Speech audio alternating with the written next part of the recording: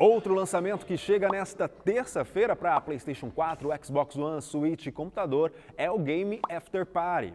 Controle os melhores amigos Mila e Lola que estão em uma aventura pelo mundo dos mortos. A meta deles é voltar para a Terra e para isso vão fazer coisas que até o diabo duvida.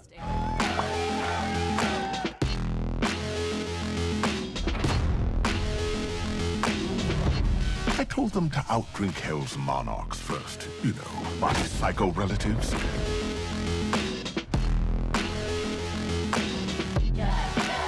But to even reach those nut jobs, the losers will have to deal with karaoke crowds, the lava swamps, the fanatics from the Force Circle. I mean, these complete idiots really have no idea what they're getting into.